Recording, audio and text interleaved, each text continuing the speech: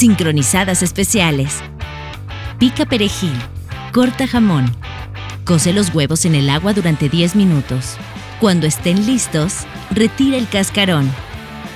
Separa la yema y corta. En un sartén agrega dos cucharadas de aceite y coloca la tortilla. Agrega queso, jamón y huevo. Cubre con otra tortilla la parte de arriba y voltea la sincronizada. Corta en cuatro y sirve. Decora con perejil. En tienda o internet, en Walmart siempre encuentras todo y pagas menos.